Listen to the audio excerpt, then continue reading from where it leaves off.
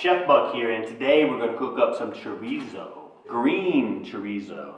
Chorizo Verde. verde. We're still in Mexico, so I saw this on the shelf. This is a Mexican chorizo. It is uncooked. I got it in the meat case. And it is a casing sausage. So it is sausage meat that has been stuffed into a casing. So we're going to cook it a few different ways. And you can use these cooking methods for any kind of sausage in a casing or you can take it out of a casing. But why is this green? You know, this looks like the perfect St. Patty's Day food, but it isn't a special green for St. Patrick's Day. This is a uh, chorizo verde, so it's green because they've, uh, they've mixed up the sausage uh, with a lot of cilantro and uh, peppers, which you could do. I mean, you could, you could take your own sausage and then you could make a mixture of cilantro and uh, peppers and uh, grind it up and turn it into this like a green smoothie and then mix it with sausage meat and then you will have this semi freaky looking sausage to cook with. I wonder if you could do this with hamburger. Nobody wants a green hamburger. When you have sausage in a casing, the casing is edible. This is generally made of an animal product or a vegetable product or some sort of NASA scientist, astronaut type product, you know, that to shoot it into space and eat it on the moon. But this is edible. So we're going to cook our sausage in the casing three different ways. The first one, boom, we take it, and we're going to throw it on a piece of tin foil on a baking sheet, and we're going to slide it in the oven. No oil because the No sausage oil. has plenty of yeah, oil. Yeah, yeah, some oil's going to Fat. come out of the sausage. Although this, this chorizo verde isn't as fatty as a lot of other sausages I cooked because they got a lot of produce in here. They have so much cilantro, they have so much green veggie stuff in here that it is green. But anyway, this is what I got my oven on. So you want to set your oven on four, between three and four. What does that mean? I don't know. We're in Mexico. It's one through five. And a lot of times ovens, you know, they'll, they'll go up to like 500. So I assume each one of these is like 100. So I'm going to put it between three and four. And now we got it roasting away. So we'll forget about that. So let me get going on the second way we're going to cook some sausage. Let me start my back burner here. So boom, I'm gonna put about a quarter inch of water in here and set it on this back burner. We'll cover this up and I'll bring this water to a boil. And let me get my skillet going on here and we'll cook this a different way. Because you don't have to cook the sausage in the casing here. Like if you buy sausage like this here, you know you can throw it on the grill, throw it in the oven, you can sort of steam it and cook it in a pot. But you can also take the casing off and use the sausage inside any which way you like. We'll just take a pair of scissors, give the casing a cut, and it'll peel right off. And it's not sticking on here too bad. Is that focusing on there, camera girl? Mm-hmm. So we just peel this casing right off, and now we've just got our sausage. So this is just ground sausage outside of the casing. And you could form it into patties and cook it. You could do whatever you like. But we're just going to go ahead and crumble it up and cook it in the skillet. It'll be ready to eat faster. Yes, this is the fastest way to cook it. And normally I would saute up some onions and garlic and stuff. I'm just going to saute this up, cook it up, and then use it later in a different dish. I don't think I've ever seen this kind of green chorizo or sausage in U.S. grocery stores. And when you see chorizo, a lot of times, you know, it'll be in the meat case, you know, you'll see chorizo, and it's raw sausage that needs to be cooked. But sometimes you'll see chorizo that's been dried, like in the deli case or over with the pepperonis and stuff like that. And that's already cooked and dried chorizo. And that's kind of Spanish chorizo, and this is like Mexican chorizo, the kind you gotta cook up. Oh, it already smells so good. Yeah, yeah, yeah. I mean, sausage always smells fantastic. Is the water boiling?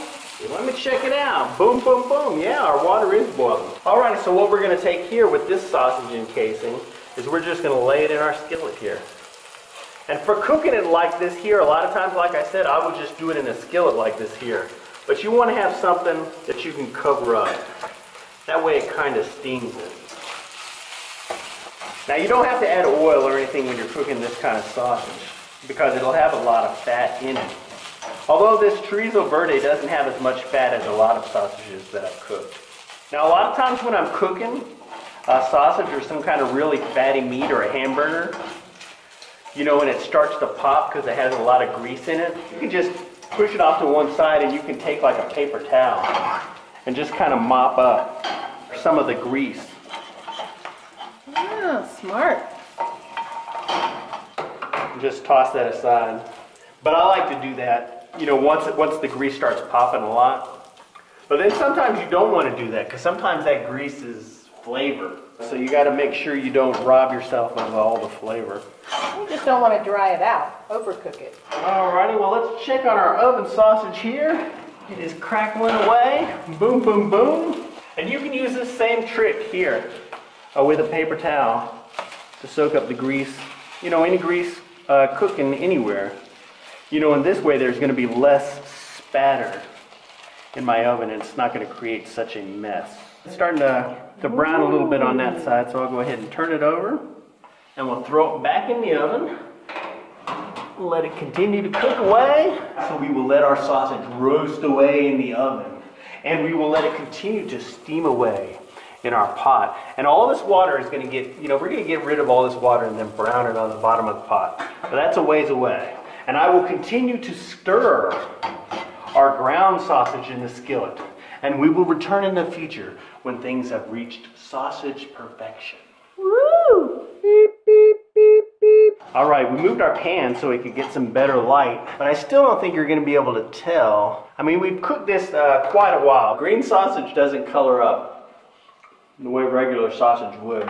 But you've got some brown pieces. Yeah, yeah, yeah. Some of it's browned up, but it is definitely done. So I'll turn the heat off of there. Cook an egg and throw it on top of there. You could serve this any way you like. You put it in a taco. Anything you could do with sausage, you can do with a uh, Riesel Day. It could be a pizza topping. Let's check on our oven sausage. Boom, boom, boom. Sizzling and bubbling away. And I'll go ahead and get some more of this grease out of here. Because we are at an Airbnb. And I don't want to make a huge mess in the oven. We'll give it a little bit of a turn. And we'll throw it back in. So we'll get some color on there. Boom. And let's check our steaming sausage here. And it's been going for quite a while. So I'll pour some of this liquid off of here because we don't want it to steam the entire time that it's in the pot. Because I definitely want to get some color on here. So we'll put it back on the burner. We'll just let it cook away here for a little while uh, without any liquid in here. And I will just give these a turn every few minutes until I get some nice color and crispness on these casings. Alrighty.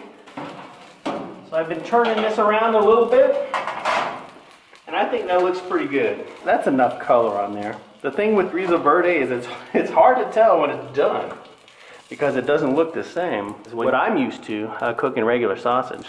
But here's the ones out of my pot. You can see there's not much of a difference between the two. So that's uh, two different ways that you can cook uh, sausage in the casing, or you can just take it out of the casing and use it just like regular ground sausage. But it's not hot. You know, a lot of people think of uh, chorizo as hot, and we've had some chorizos that have been devilishly hot. But sometimes chorizo, you know, isn't overly spicy at all. It just means it has a lot of flavor in it. It just means a lot of spices have been added to it, but it's not always super duper hot spices. That's the one from the oven. Yes, but they're going to be the same.